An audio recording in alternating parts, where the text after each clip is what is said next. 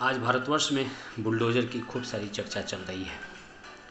कभी दिल्ली के इस क्षेत्र में बुलडोज़र चला, कभी दिल्ली के उस क्षेत्र में चला, कभी लखनऊ में चला तो कभी कानपुर में चला तो कभी मध्य प्रदेश के किसी शहर में चला तो कभी गुजरात के।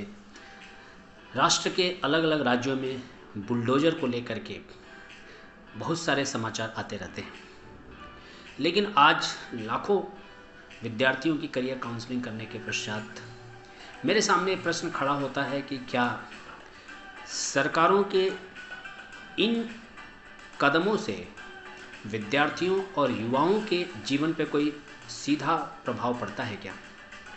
मैंने इसको काफ़ी स्टडी करने का प्रयत्न किया और इसी स्टडी के पूरी प्रक्रिया के बीच में मैंने पाया कि बुलडोज़र गांव-गांव, घर-घर उजाला ला सकता है। और प्रत्येक राज्य में लाखों लोगों को एम्प्लॉयमेंट दे सकता है। ये एक बहुत ही महत्वपूर्ण रिसर्च मैंने करने का प्रयत्न किया।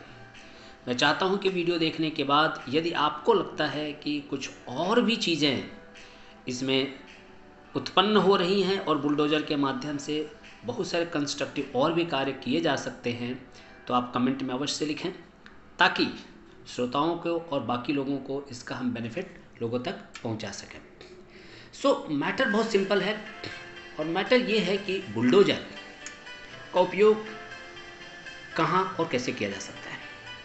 सबसे पहले हर गाँव, हर एक कस्बे हर एक टाउन हर एक शहर के पास सरकारी ज़मीनों का एक भरमार है।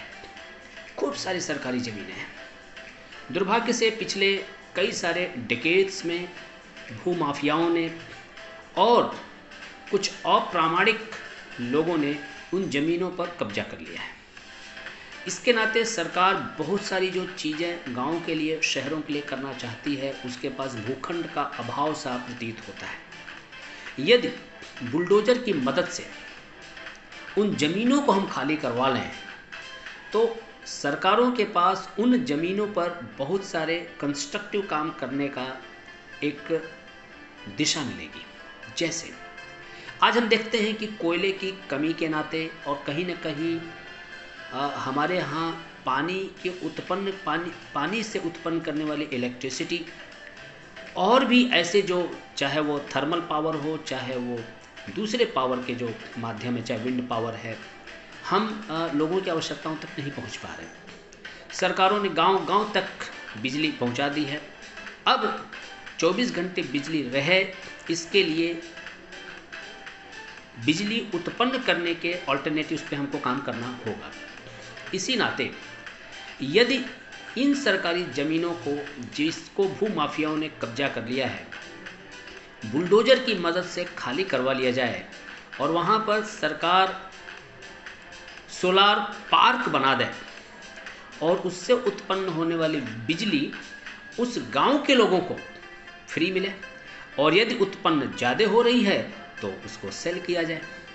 आज आप पाएँगे कि इलेक्ट्रिसिटी के अभाव के नाते इंडस्ट्रियल डेवलपमेंट और बहुत सारी जो हमारे इंफ्रास्ट्रक्चर में डेवलपमेंट की आवश्यकताएँ हैं, वो नहीं हो पा रही हैं, वो सारी होने लगेंगी।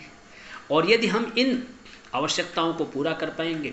तो शहरों पे जो पॉपुलेशन और जनसंख्या का बहुत बड़ा एक भार है, वो भी कम होगा, क्योंकि गाँव में घर घर पे बिजली होगी तो शहर में जो बिजली के अभाव के नाते अपॉर्चुनिटीज़ के अभाव के नाते जो पॉपुलेशन आकर के बस गई है, उसमें से एक बड़ा पॉपुलेशन गाँव में जाकर के बसना पसंद करेगा, इसके नाते हेल्थ पर भी एक पॉजिटिव इम्पैक्ट पड़ेगा। चूँकि हम गांव-गांव में सोलार पार्क बनाएँगे तो उसके नाते एम्प्लॉयमेंट जनरेट होगा। अभी सरकार जो है चाहती है कि इंटरनेट का पूरा फाइबर का जो जाल है गांव-गांव तक पहुँचाया जाए, देश के प्रत्येक गाँव तक जाए।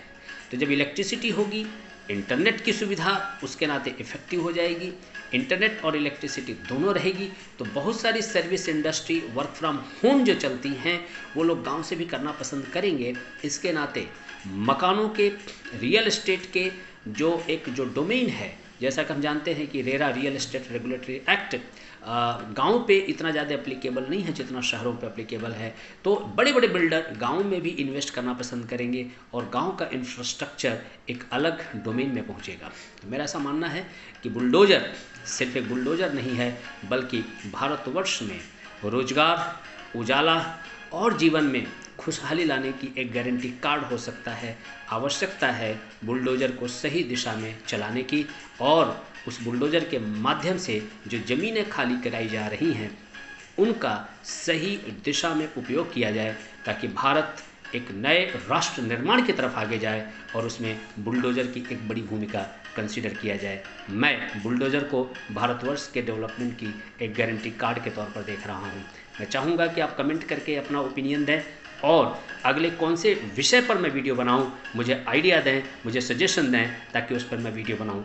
अगला जो आपके सामने मैं वीडियो लेकर के आने वाला हूँ, वह एक और राजनीतिक मुद्दे को मैं आपके सामने रखूँगा कि उस राजनीतिक मुद्दे के माध्यम से हम किस तरह से करियर अपॉर्चुनिटी क्रिएट कर सकते हैं। धन्यवाद।